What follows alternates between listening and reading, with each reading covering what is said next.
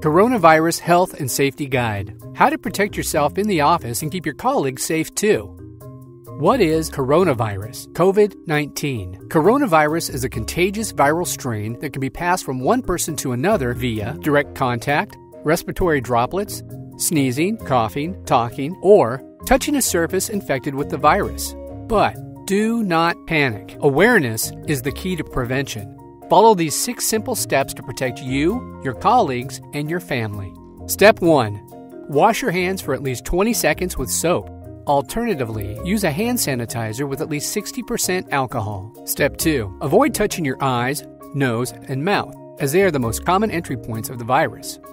Step 3 Clean your work surfaces using spray or disinfectant wipes. Step 4 Wash hands after contact with frequently touched objects such as doorknobs, light switches, computers, and fellow staff. Step 5 Self care. You've got a better shot at fighting the virus if you have a healthy immune system. Eat nutritious food and reduce stress.